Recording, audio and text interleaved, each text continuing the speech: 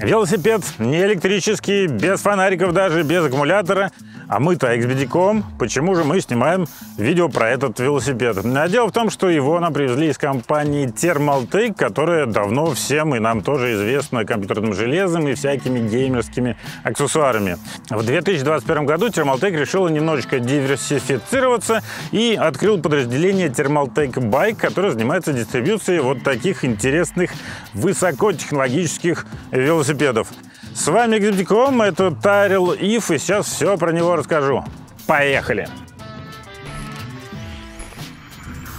Это Тарил Ив, он из Японии, говорят, его производят вручную. И две главные фишки – это легкость и компактность. Первый за счет материалов, а второй за счет особого складного механизма. И вот с этого, наверное, начну, и это надо показывать. Хоба! Хоба! Отсюда шпильку вытаскиваем. Вытаскиваем. Барашек откручиваем. Немножечко, не до конца.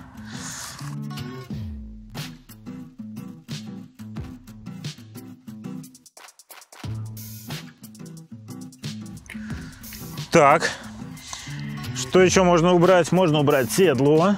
Я это проделал уже раз 15, вроде бы приноровился, и сейчас у меня на это уходит примерно минута, ничего сложного нету, нужно сложить просто все, что складывается. В итоге получается вот такой вот комочек велосипедности весом примерно 11 килограмм и помещающийся в коробку размерами 70 на 58 на 34 сантиметра. Понятно, что это компактность, это отчасти заслуга небольших колес, они здесь 18-дюймовые, но обычно у складных велосипедов складывается только рама, а здесь и заднее колесо, и переднее переднее колесо и еще руль. Рама сделана из хромомолибденового сплава, то есть в основе, естественно, сталь, то есть железо плюс углерод, но благодаря добавкам меняются свойства. Получается прочный и легкий металл.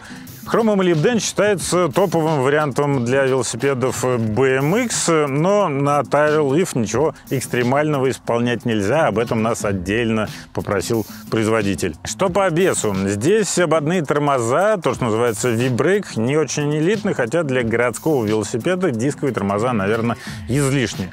Система 9-скоростная, называется Shimano Sora, и это хорошо, потому что Shimano просто очень распространены, и фактически в любой деревне можно найти либо замену, либо мастера, который умеет их чинить. Переключатель на руле удобный, а вот индикатор есть, но смотрит скорее вперед. Есть вот такой вот аналоговый звоночек. Есть крылья в комплекте сразу установлены, длинные и близко прилегают к колесам, то есть брызг точно никаких нет.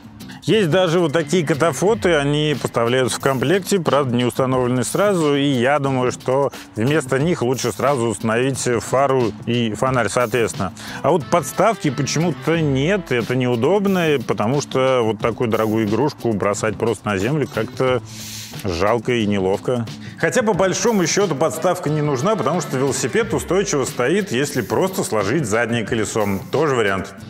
Велосипед был классно упакован, но некоторые вещи пришлось прикручивать. Например, не только катафоты, которые я уже показал, но и педали, и передний тормоз. Мне пришлось ослабить тросик, чтобы зацепить скобу, а сделать это без шестигранника невозможно. Был ли в комплекте шестигранник? Нет, ни одного.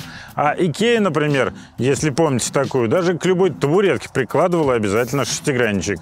Стоит брать пример. Руль здесь есть.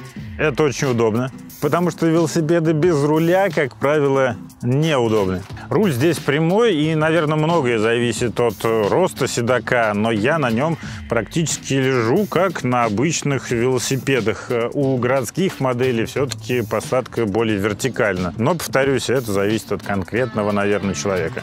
Комплектное седло довольно узкое, может быть, не всем будет комфортно, но вообще эта деталь, во-первых, легко меняется, во-вторых, ее стоит подобрать под э, себя. Ну и главная характеристика любого велосипеда, правда, неизмеримая в числах, это катит ли он. Этот велосипед катит очень хорошо. Правда, стоит дорого, примерно 150 тысяч рублей и уже продается в России.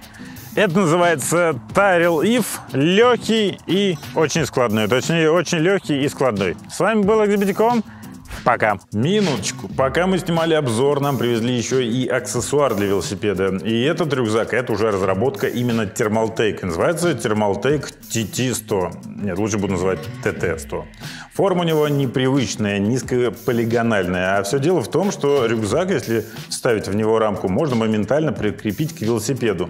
Thermaltake говорит, что такая форма нужна для лучшей аэродинамики, но в любом случае надо понимать, что парусности рюкзак прибавит. У рюкзака два отделения. В одно помещается 17-дюймовый ноутбук, и там еще есть пара кармашков. Заглянуть туда внутрь сложновато, особенно если вставлена рамка для крепления к велосипеду. А в другом отделении два крупных кармана, пара мелких и еще набор резиночек для ручек и кабелей. Общий объем 20 литров. Из милых мелочей магнитные крепления для лямок и нагрудный замочек с хвостиком и опять-таки способностью примагничиваться. Рюкзак всепогодный. Степень защиты IP44, то есть он выдерживает брызги в любых направлениях. Не пропускают влагу и ткань, и молнии, но это не гермомешок, конечно, просто можно не бояться дождя. В России рюкзак уже продается в некоторых магазинах чуть дороже 20 тысяч рублей. Это и есть примерно 250 долларов, за которые ТТ-100 продается в других странах. Вот теперь точно все.